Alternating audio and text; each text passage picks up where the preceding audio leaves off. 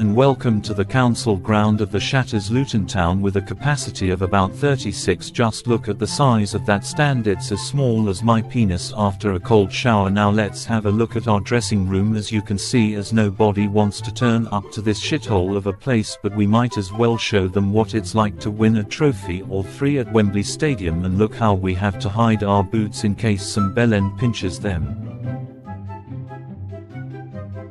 And now look at their tunnel this is Kenilworth Road. It looks more like Wentworth fucking prison on death row.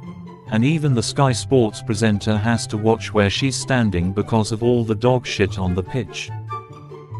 And here come the lads out of the hotel and every one of them has a worried look on their faces because they are leaving behind their million pound cars and when they return they will be on bricks just look how worried they all look.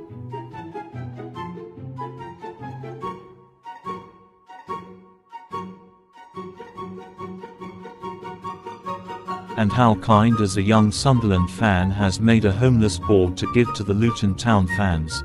And even Tony Mowbray feels sorry for them by writing sniff your nana's knickers on it. How very kind of our manager what a top bloke he really really really is and I really mean that. And of course who else but Mr. Sunderland himself who writes my sack holds more than your shithole of a stadium and that is really saying something because his sack only looks half full. And here we are we have arrived at a street that looks like somewhere in Baghdad and here is Mr. Pritchard having a drink of two-stroke petrol with the California Messi who looks disgusted.